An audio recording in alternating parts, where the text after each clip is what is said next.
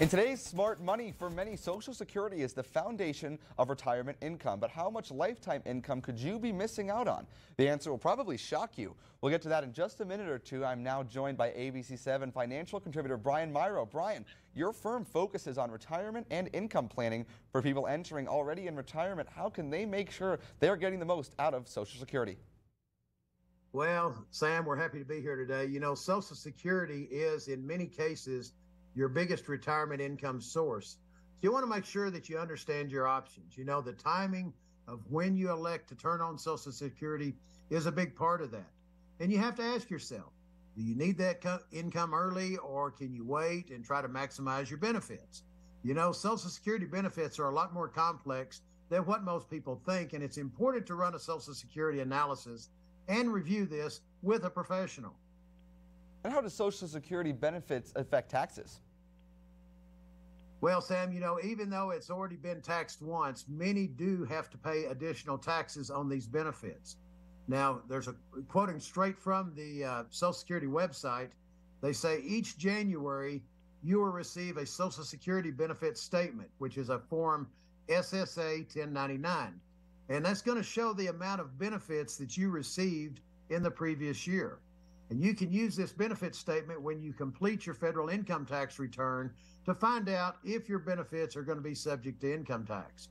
And they also have a calculator and more information on the government website. Now, benefits are based off your income level and if you are filing taxes jointly or individually. How much in lifetime Social Security benefits are Americans possibly leaving on the table? Well, Sam, you know, the National Bureau of Economic Research, you know, they've released a new report finding that most of us should wait until later in life to take our Social Security benefits. The study found that more than 90% of American workers should wait until age 70, but only about 10% actually do that. You know, optimizing your Social Security benefits would produce a 10% increase in the typical worker's lifetime spending.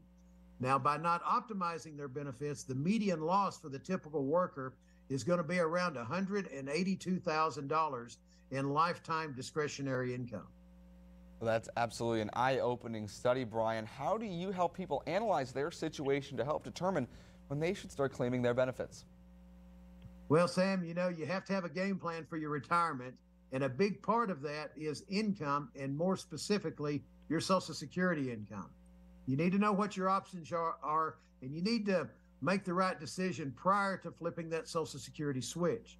You know, in most cases, once those benefits are turned on, they're turned on for life and cannot be changed. Now, one thing that we're offering today, Sam, is a free Social Security analysis for our viewers. And in this analysis, what we do is we identify the optimal time to take Social Security and show you all your options. And many times, this analysis is the difference in missing out on thousands and thousands of dollars in retirement. All right, Brian, thank you. And you can contact Brian at the number on your screen for more information. ABC7 financial contributor Brian Mirau with the Mirau Capital Management. Brian, thank you so much for your time. Sam, thank you so much for having me today.